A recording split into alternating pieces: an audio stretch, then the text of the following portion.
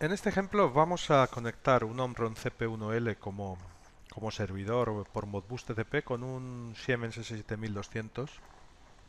Hay que tener en cuenta que cuando hablamos de Modbus TCP, el servidor realmente es el que sería en el equivalente en Modbus RTU como, como el esclavo.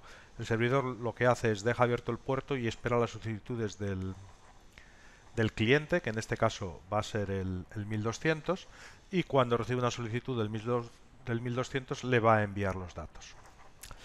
Eh, para configurar el, CP1L como cliente hemos utilizado uno de los bloques que están en, la web de MyOmron, en concreto es este, el MTCP CP1L Server, es un bloque que es eh, experimental, está desarrollado por Omron Francia, pero te va a facilitar mucho el tener que trabajar con, con los sockets que utiliza Omron para, la comunicación Modbus.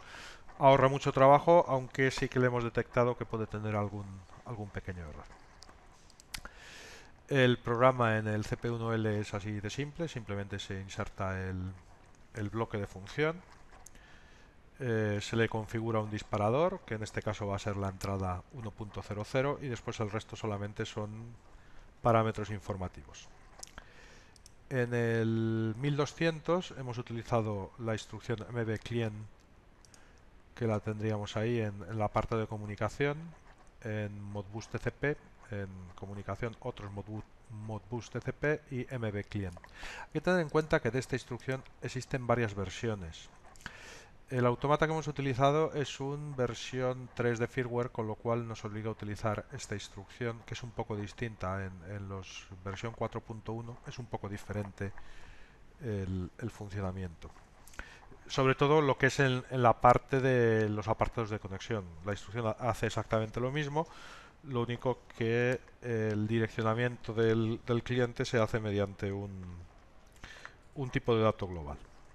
Al insertar esta instrucción, pues nos aparecerá una DB de instancia que le crearemos y tal y como lo hemos configurado, simplemente con un, con un reloj de pulsos de, de 5 hercios, es decir, 5 veces por segundo, eh, una marca para desconectar y después eh, el, el, número de conexión.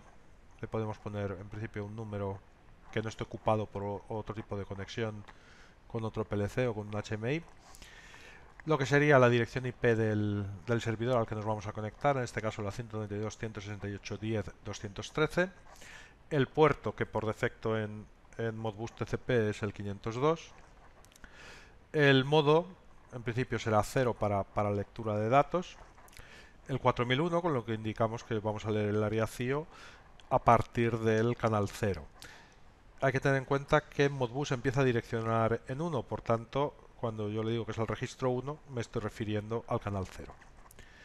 La longitud de datos en, en, words, en, palabras que, vamos a capturar, en principio un, word, y dónde lo vamos a, posicionar, dónde lo vamos a, poner en modo puntero a partir del M500.0 y cuántos datos, una palabra.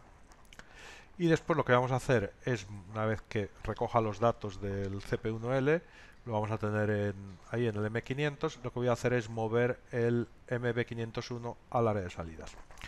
¿Por qué el MB501? Pues porque Omron y Siemens trabajan con los bytes de formas distintas.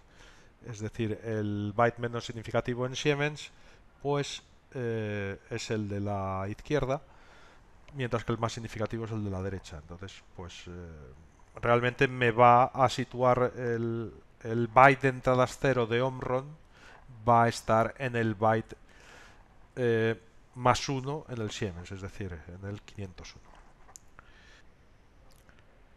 Vamos a ver cómo, funciona la instrucción. En principio, en el momento en el que yo active la entrada 1.00 en el, en el CP1L, se va a establecer la, la conexión, la comunicación. Ahí veo con el W10.01 que se ha establecido que está conectado y ahí en la W14 me está diciendo a quién está conectado. En principio al nodo de dirección IP161, que es la dirección que tiene mi S7200. Entonces, con el, con el canal de comunicación establecido, al modificarse el estado de las entradas, del primer byte de entradas del, CP1L, veo cómo se me reflejan en el byte de salidas del 1200.